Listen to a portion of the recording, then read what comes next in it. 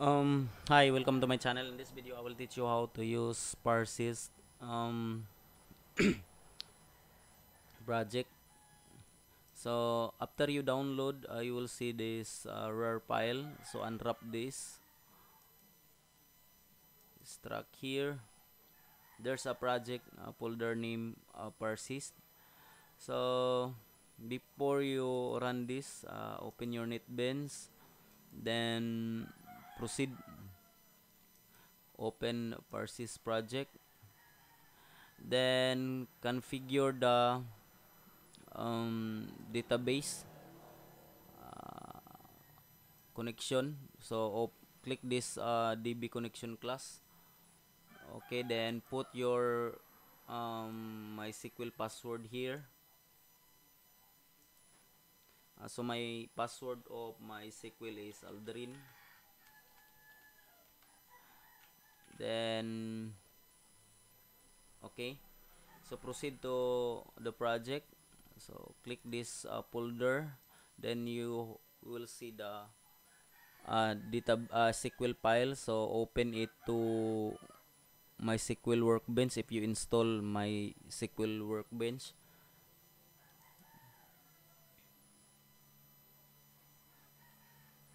Okay you will see the query here there's a default um, purchaser added already.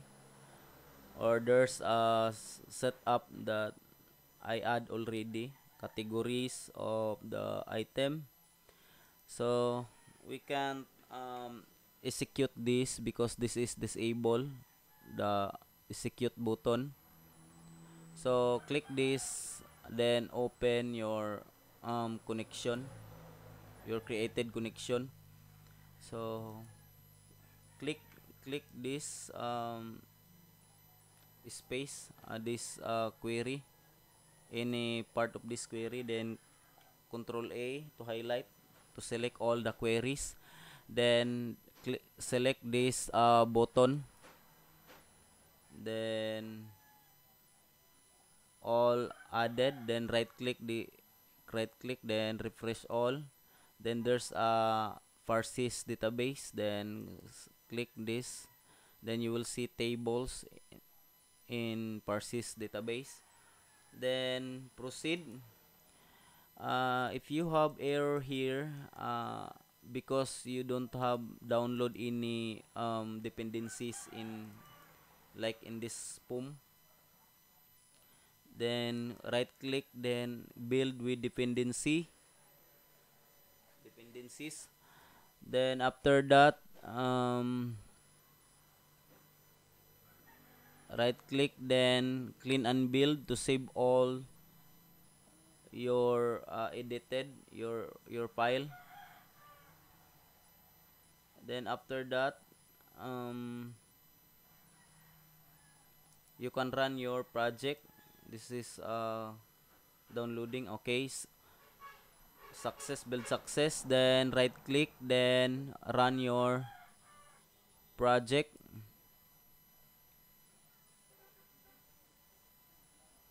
Then the default is lower uh, admin lowercase all uh, password all lowercase admin then right okay so this is the project um,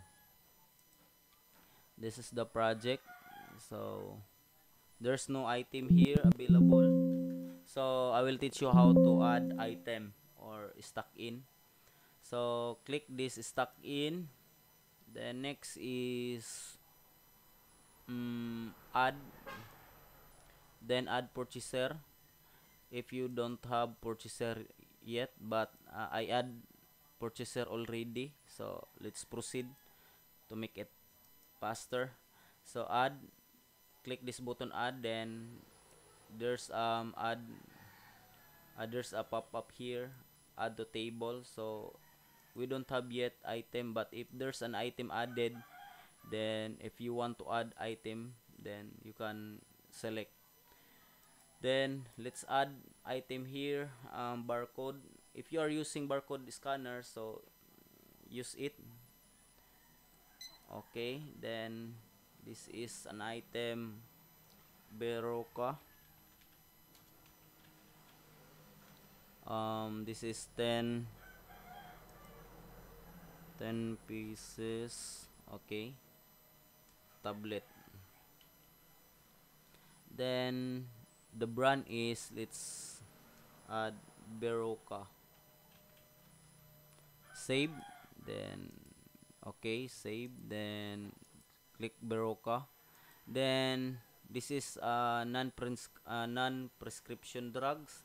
So click this then non prescription drugs. Okay. Save. Are you sure to save the pres non-prescription drugs? Save. Then select non-prescription drugs save yes. So we have our item Berocca then tablet. No. Um, pieces because this item has um, 10 tablets. Oh no this is wrong but let's change that later. Then 5 then the price is uh, 160 uh, oh no for example 134 then the tax exempt then the profit margin is 10% of the buying price. Then there's a expiry date. It didn't have um, expiry date so don't put expiry date. So save. So we have Berocca here then let's add another item. This is the last item because this is a demo how to add uh, item. Then let's scan another um, item. This is uh, Mimo Tason. This is 50 MCG okay then the brand is Mutane Amomate okay yes. Then momate then category which is let's add category this is ano? Category this is prescription drugs. Yes. So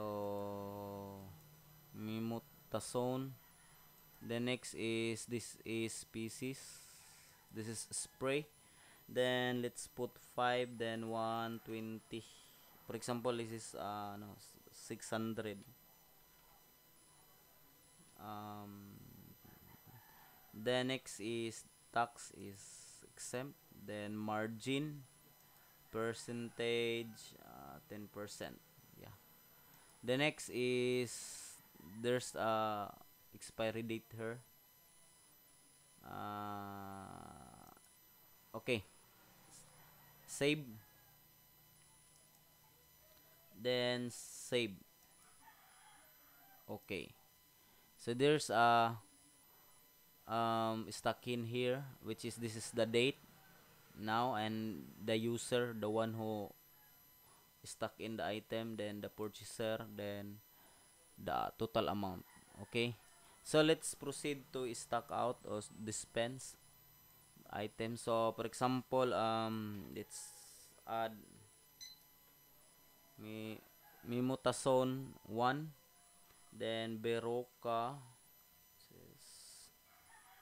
let's scan okay to item of beroka the next is let's um payment okay click this button payment for example uh, the the money is 1000 then the button is enable.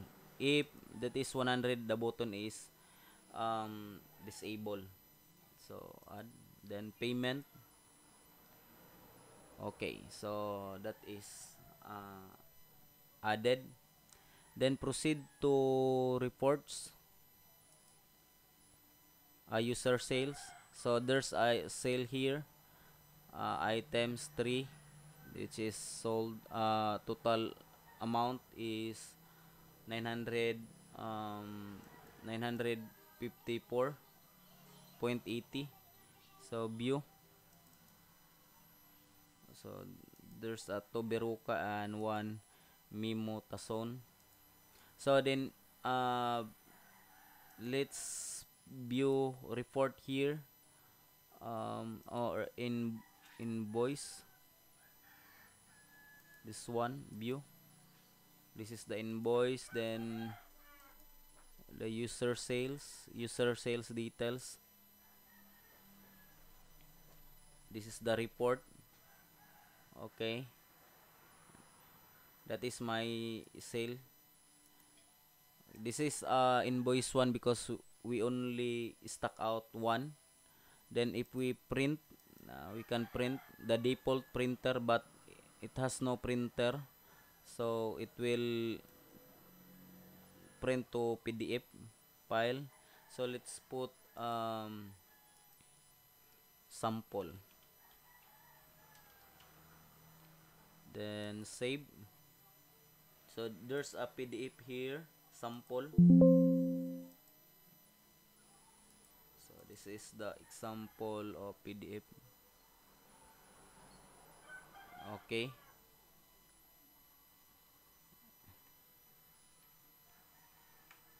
Then uh, let's see the inventory here. The inventory is we have uh, sold one uh, mi mometasone one then two um, Berocca so if we we view the report so this is the report. Okay. Uh, non-prescription drugs prescription drugs. This is the inventory. Summary then print. Then let's put inventory okay save.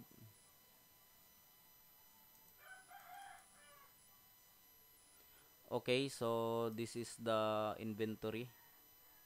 The total grand total and every total of the category. Because um, in the pharmacy there's a category shelves which is you put all the um, category drugs or category of the item category of the item. So you can inventory how what is the quantity then the current quantity.